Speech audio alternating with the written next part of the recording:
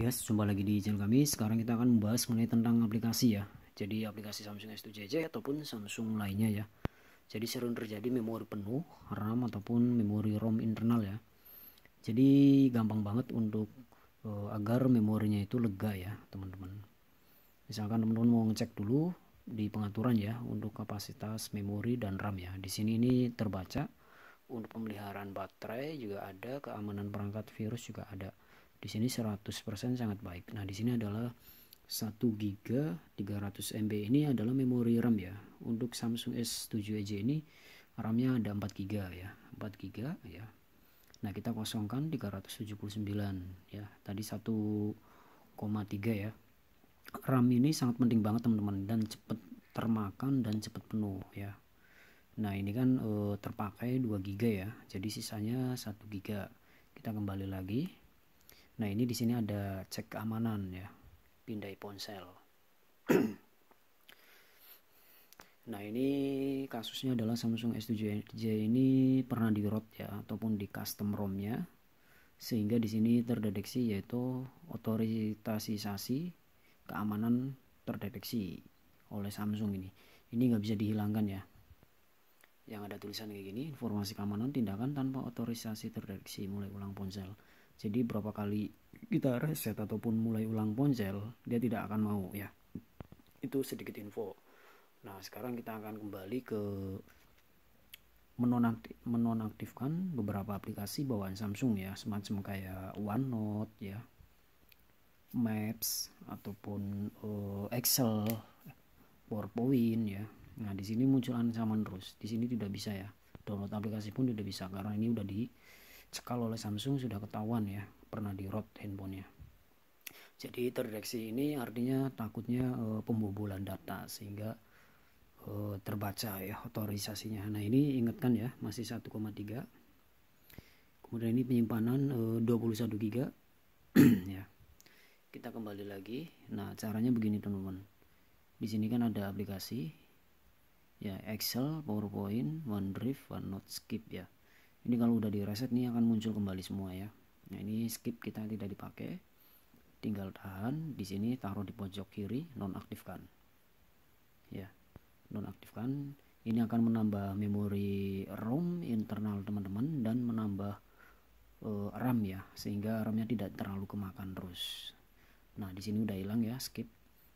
Nah ini OneNote kita nonaktifkan juga ya misalkan teman-teman aplikasinya banyak nih tapi saya tidak gunakan dinonaktifkan aja.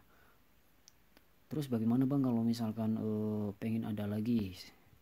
Nah teman-teman tinggal buka pengaturan di situ ada aplikasi tinggal diaktifkan seperti itu. Ini fungsinya agar uh, RAM ini tidak terlalu bekerja ekstra ya. Sehingga IC CPU IC MMC ini tidak mudah panas ya.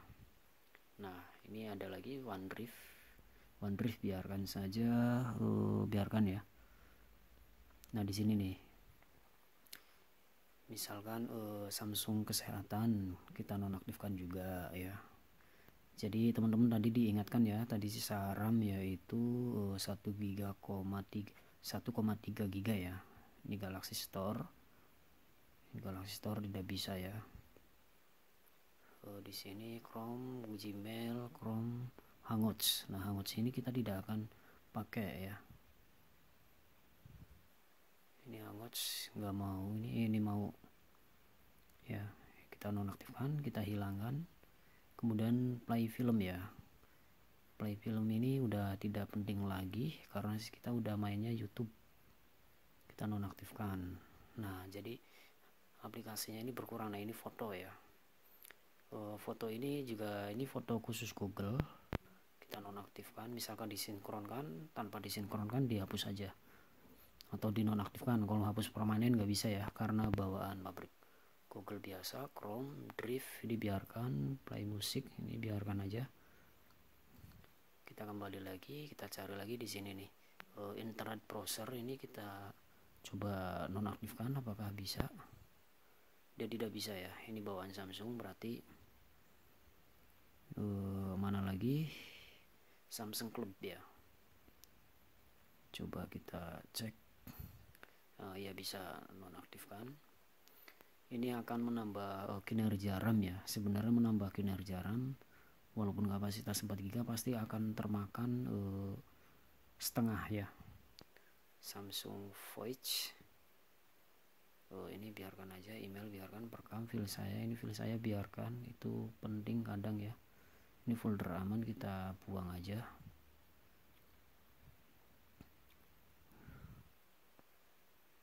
Ini folder aman nih nggak bisa. Padahal ini habis saya download nih. Nggak bisa. Uh, kemudian apalagi nih? Ini udah nggak ada lagi. Ya Samsung Gear tadi udah saya nonaktifkan ya. Muncul lagi kita nonaktifkan nah dia mau. Ini udah saya nonaktifkan tapi masih muncul biarkan saja ini hanya berkas saja. Nah itu udah hilang ya. Nah kemudian kita closing dulu. Kemudian kita buka pengaturan kita cek lagi RAM-nya ya apakah bertambah kinerjanya ya. Pemeliharaan perangkat ya jadi kalau pengen awet teman-teman sering-sering cek RAM ya. Sehari sekali aja. Sering bersihin apalagi sering sosmed ataupun game itu RAM akan bekerja ekstra. Nanti efeknya handphone bisa matut ya. CPU bekerja ekstra panas ya. Ini masih memeriksa memindai. Ini sangat penting ya. Tapi jarang orang-orang memahami mempelajarin hal-hal kayak begini. Tapi fungsinya banyak manfaatnya banyak ya. Yaitu kinerja RAM jadi ringan ya. Tadinya 4 GB jadi 1 GB ya dibersihkan jadi nah ini kan 1 GB ya. Kita klik kita bersihkan karena aplikasinya udah saya nonaktifkan ya.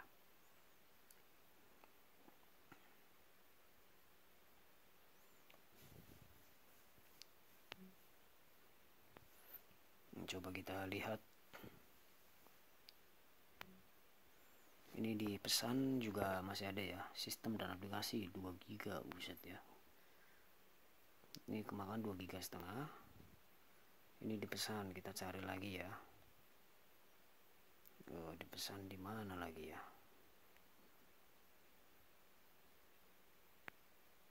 Di sini kosong.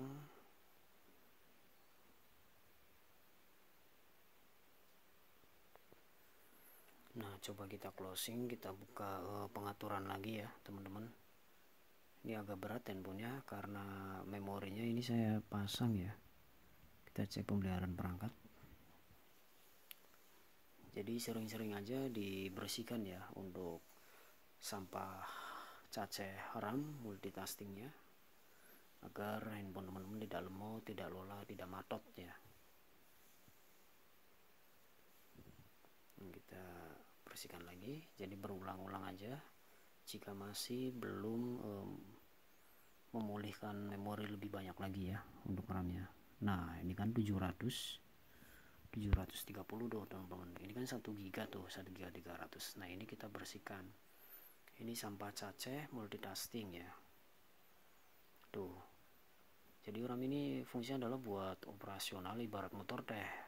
Dia oli ya.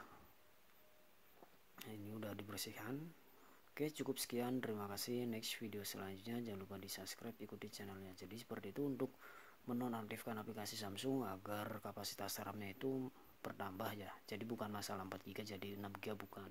Tapi yang tadinya 4 GB kemakan 2 GB jadi 1 GB kita bersihkan kita hapus kita nonaktifkan aplikasi sehingga pulih lagi jadi 2 GB ataupun 3 GB ya. Tergantung aplikasi teman-teman yang di download ya Oke cukup sekian. Terima kasih. Next video selanjutnya silahkan di subscribe ikuti channelnya